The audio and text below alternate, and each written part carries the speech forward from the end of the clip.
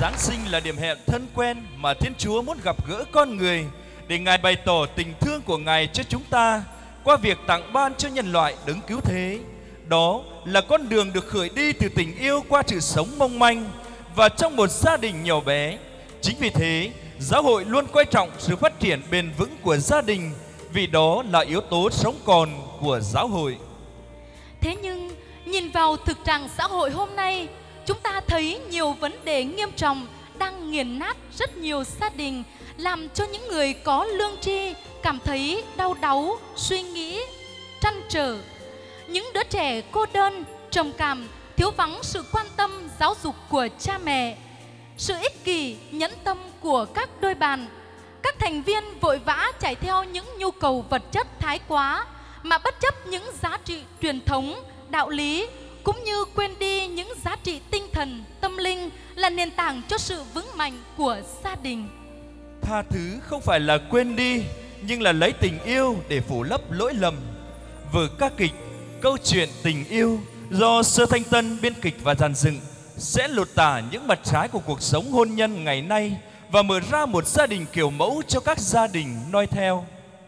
Và đặc, và đặc biệt, đây là món quà ý nghĩa dành tặng cho các bạn trẻ, những người đang chuẩn bị bước vào đời sống hôn nhân và gia đình. Trân trọng kính mời quý đức cha, quý cha, quý tu sĩ nam nữ, quý vị và các bạn cùng theo dõi.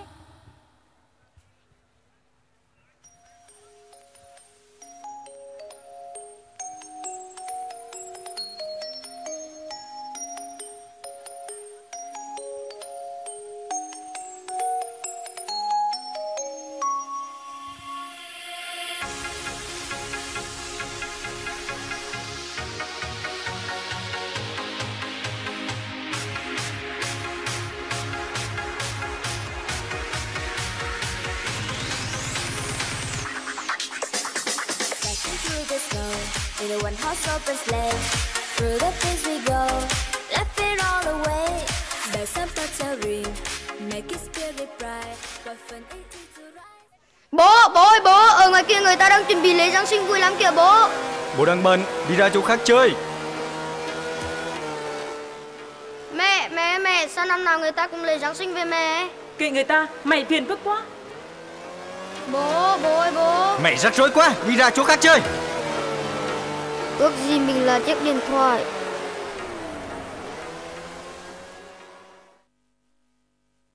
Kính thưa quý vị, tất cả chúng ta đang sống trong dòng chảy của một thế giới với nhiều biến đổi sâu rộng trên tất cả lĩnh vực của đời sống, kéo theo nhiều hệ lụy khôn lường. Các giá trị đạo đức đang bị trượt dốc và trao đảo. Sự giải thiêng, tục hóa đang lan rộng trong đời sống tôn giáo nói chung và Kitô giáo nói riêng con người dường như sống gấp gáp hơn vội vã hơn để rồi điên cuồng chạy theo danh lợi dục vọng trong một xã hội kim tiền. Những cuộc tình chóng vánh, những cuộc hôn nhân tạm bợ được xem là mốt. Nạn ly dị, phá thai, đa phu, đa thê trở nên bình thường hóa. Tất cả đã để lại nhiều nỗi đau và gánh nặng nhức nhối cho xã hội. Cách riêng là các gia đình trẻ. Thế nhưng, cho đến nay, hơi thở của thời đại vẫn đang phả rất mạnh vào những gia đình trẻ, khiến cho họ dễ rơi vào bờ vực của khủng hoảng. Các thành viên trong gia đình vẫn cứ cuốn mình theo xã hội thế tục mà không có bất cứ sự phản tình cần thiết nào. Việc dành thời gian cho nhau, quan tâm lẫn nhau đã trở thành một thứ xa xỉ. Các nhà hữu trách vẫn tỏ thái độ dửng dưng mà không quyết liệt để giải quyết một cách rốt ráo tất cả những vấn đề trên. Đứng trước thực trạng đó khởi đi từ những thao thức của giáo hội đồng thời thực hiện định hướng mục vụ của Hội đồng Giám mục Việt Nam trong năm 2018. Đêm ánh sáng bầy muốn cùng các gia đình trẻ hướng đến thông điệp Đức Kitô là ánh sáng soi chiếu cuộc đời. Chính Ngài sẽ hong khô những tâm hồn ẩm ướt, chiếu sáng những góc khuất tối tăm, làm bừng sáng lên niềm vui và hy vọng cho những ai ngồi trong bóng tối tử thần.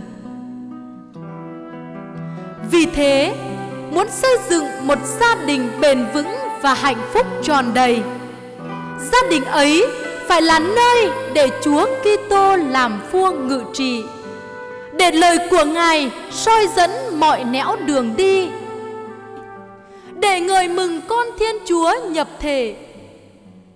Đêm nay, chúng con trân trọng gửi tới quý đức cha, quý cha, quý tu sĩ nam nữ, quý chủng sinh, cùng toàn thể quý vị, một gia đình kiểu mẫu, được dàn dựng theo lối kể chuyện. Trân trọng mời quý đức cha, quý cha và toàn thể quý vị cùng theo dõi.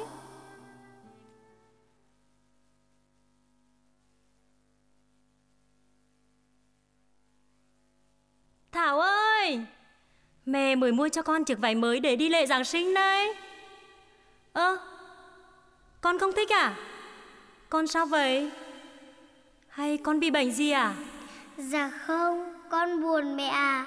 Sao con lại buồn? Mẹ biết không, gia đình bạn Vi, bản thân của con đó, bố mẹ bạn ấy không biết có chuyện gì mà đánh nhau hoài. Rồi bố Vi đã đuổi mẹ ấy ra khỏi nhà, bạn ấy buồn và khóc suốt mẹ à. Còn các bạn kể lớp con nữa, không biết sao mà đánh nhau tươi tấp. Mẹ ơi, tại sao mọi người không biết thương nhau hả mẹ? Con yêu, Lớn lên rồi con sẽ hiểu tại sao con người ta lại khó thương nhau con à Không, con sẽ không vậy đâu Con sẽ thương hết mọi người Con ngoan, khi con biết coi mọi người là anh em với nhau Cùng một cha trên trời. Con sẽ không ghét được ai cả Và con sẽ làm Chúa vui. Chắc chắn rồi, con sẽ làm cho Chúa vui. À mà mẹ ơi, thế ngày xưa khi Chúa dựng nên con người Họ có biết thương nhau không hả mẹ? Có chứ con, họ thương nhau lắm Cả các con vật và mọi thứ cũng biết thương nhau nữa. Vậy à mẹ? Ừ, tới đây mẹ kể cho con nghe này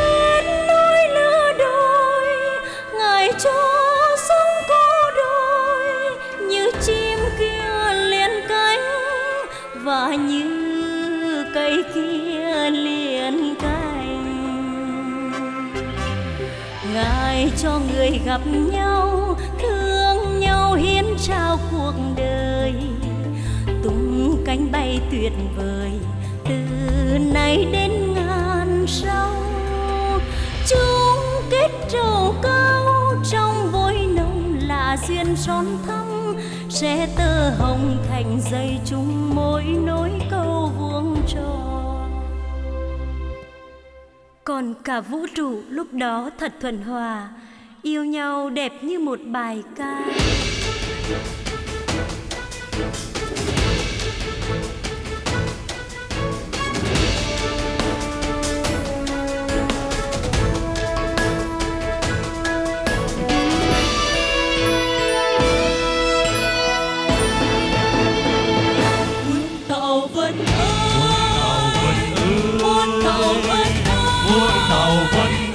hãy cảm tạ Chúa đã ban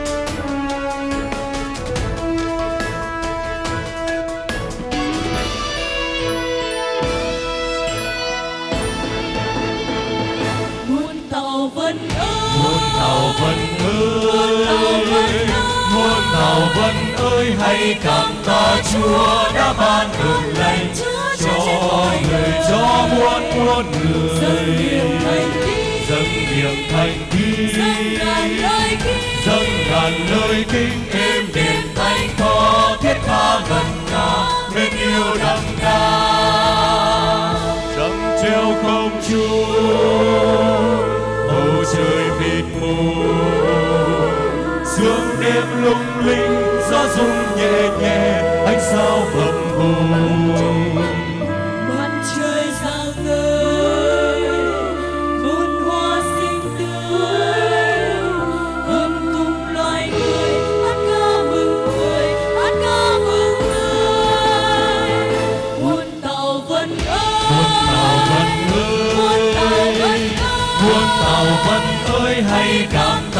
tạ Chúa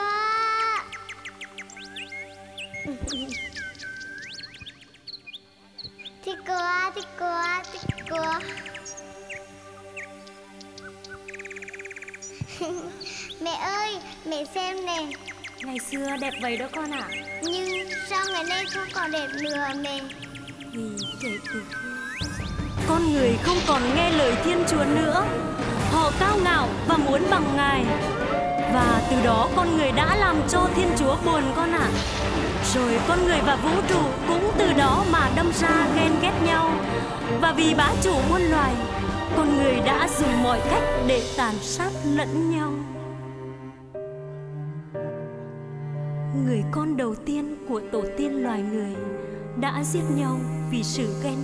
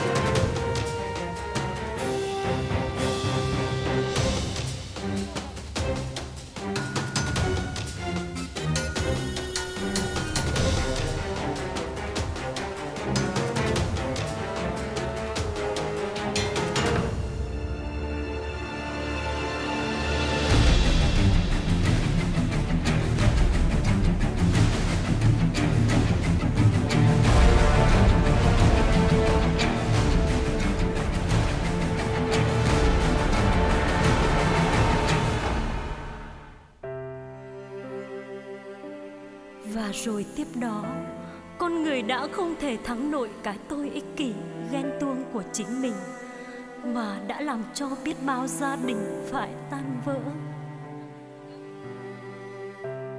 Con cái mồ côi cha mẹ khi cha mẹ còn sống.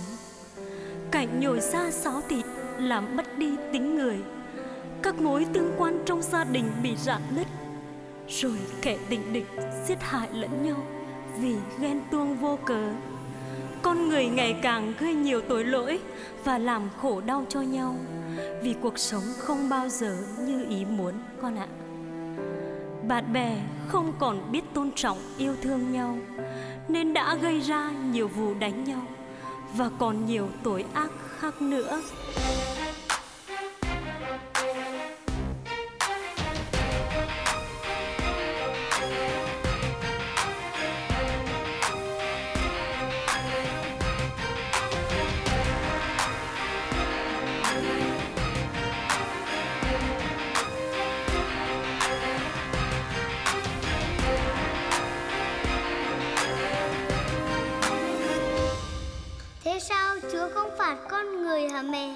làm sao chúa có thể phạt được con người hả con?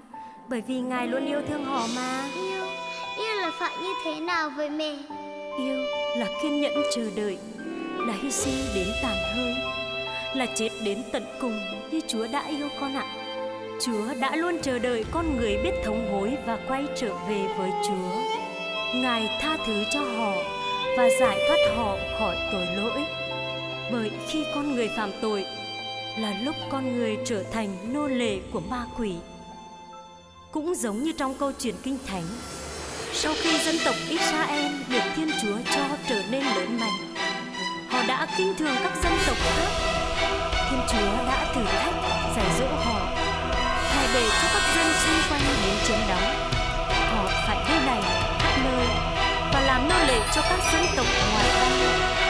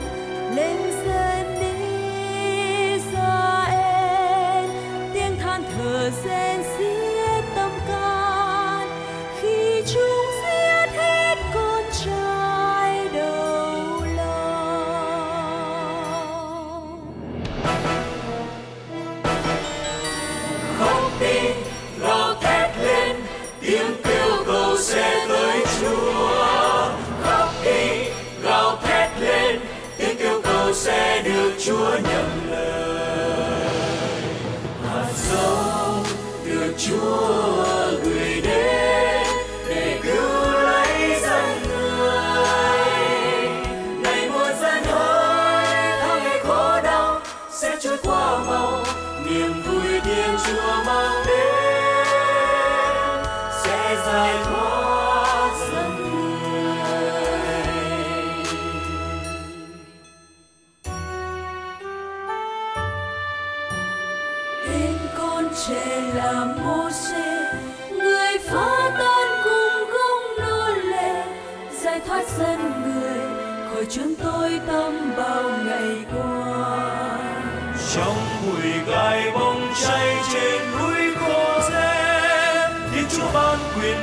cho Môse và người phán Môse hãy quay trở về để cứu dân người. Vâng điều đó do bàn tay chúa tôi. Quyền năng bao trùm khắp mọi nơi. Toàn dân đi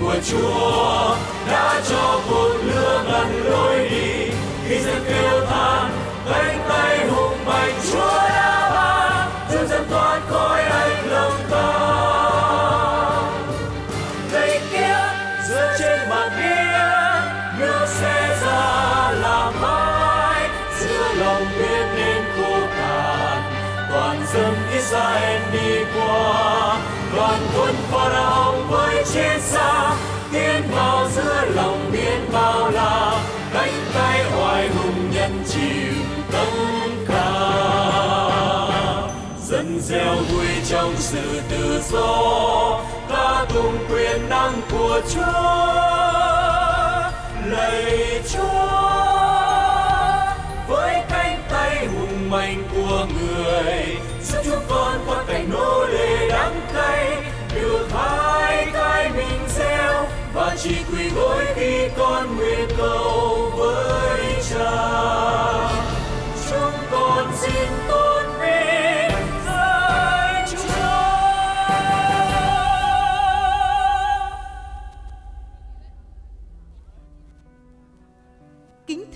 Toàn thể quý vị, Thiên Chúa là đấng giàu lòng thương xót, mặc cho con người bất trung với sao ước.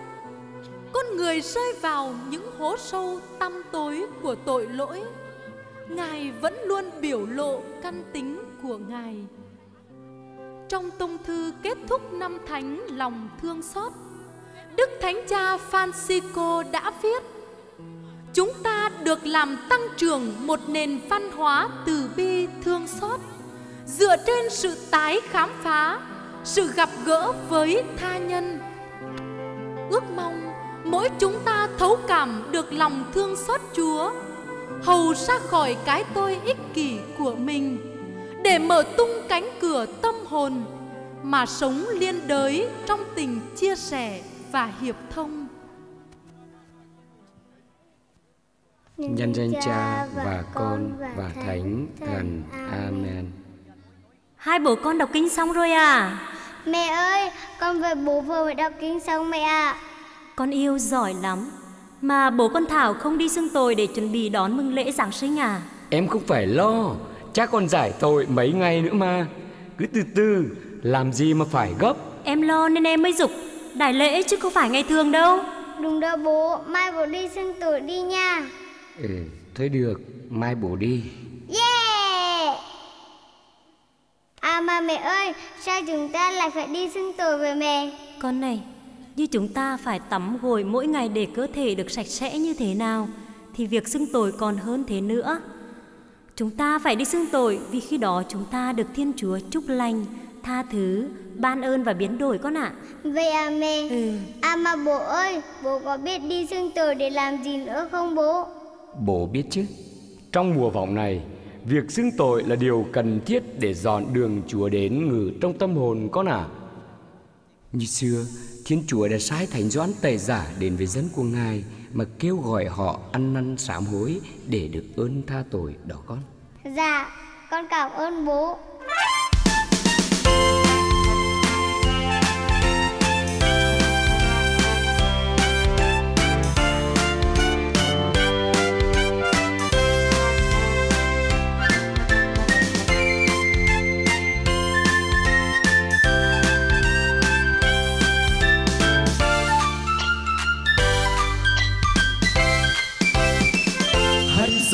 Đường Chúa. Mở lối ngài đi thung lũng đồi cao. Hãy san cho bạn hãy san cho bạn hãy mở lòng ra sẵn sàng đón Chúa. Và mọi người sẽ thấy ơn cứu độ. Còn bao gian nắng cõi lòng còn nhiều xung khắc bao nhiêu sao trộn rằng có, tranh giành giò đo lắng lo sự đời. Còn nhiều tăm tối, vây kín tâm hồn lãng lối quanh co gian ta biến lần, hay dẹp tan hết người ơi. Hãy dọn đường chúa, mở đôi ngài thung lũng đồi cao hay san cho bằng. Hãy mở lòng ra sẵn sàng đón chúa. Và mọi người sẽ thấy ơn cứu độ lòng con yêu mến vẫn luôn đợi trông chúa đến. Cho nhân gian được bình an bao người lầm than vẫn đang mong chờ tình ngài sưởi ấm như ánh mặt trời rực rỡ, cho cây hoa đời tươi nở, cho lòng nhân thế ngời sáng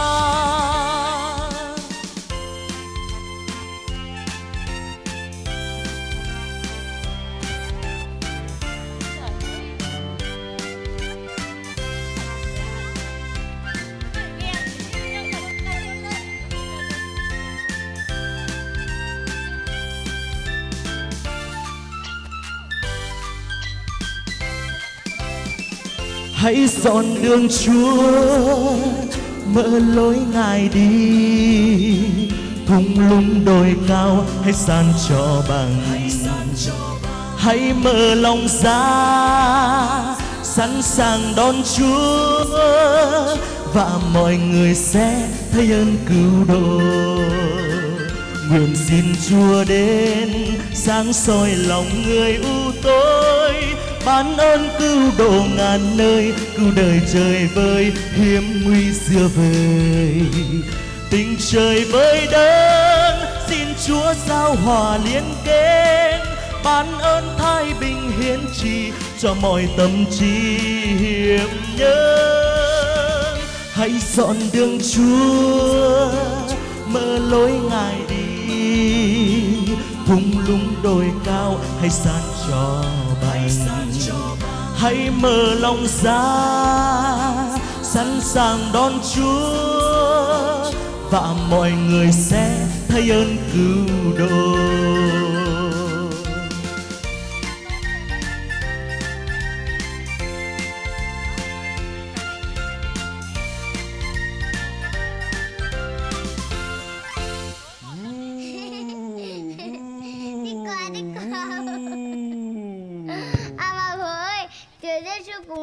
nhân phải không bố?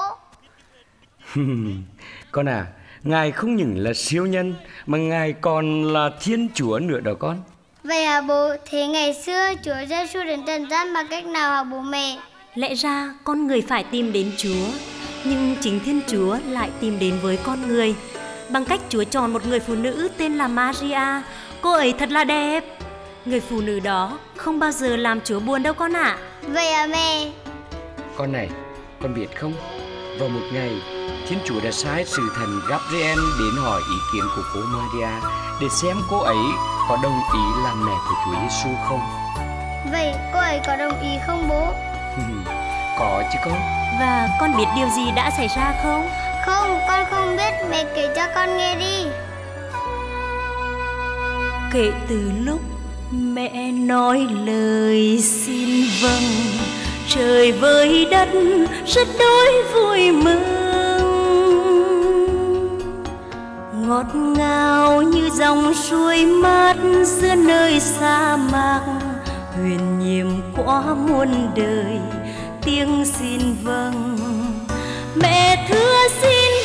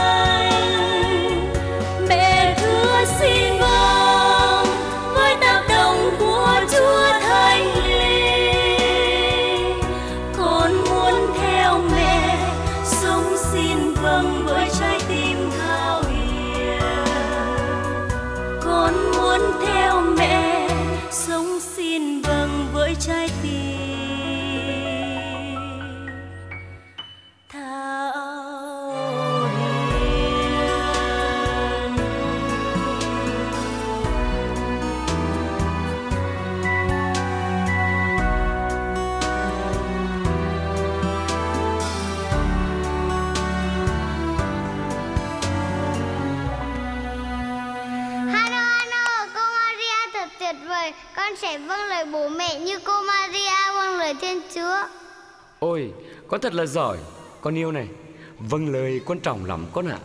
Khi con biết vâng lời bố mẹ Là con đã làm đẹp lòng Chúa Và làm vui lòng bố mẹ đó con. Con biết không Nguyên tổ loài người Cũng chính vì không vâng lời Thiên Chúa Nên mối dây thân tình giữa họ với Ngài đã bị cắt đứt Làm cho con người phải chết. Con này, con người phản bội Thiên Chúa là thế, nhưng Thiên Chúa vẫn không bỏ rơi con người. Vì thế, Ngài đã hứa ban con một của Ngài nhập thể nơi cung lòng của một người phụ nữ để cứu độ con người, để trả lại tự do mà chính nguyên tổ loài người đã làm mất. Người phụ nữ đó không là ai khác mà chính là cô Maria đó con. Và sau đó con có biết một điều vĩ đại gì đã xảy ra không? Con không biết điều đó là điều gì hả bố mẹ? Sau 9 tháng 10 ngày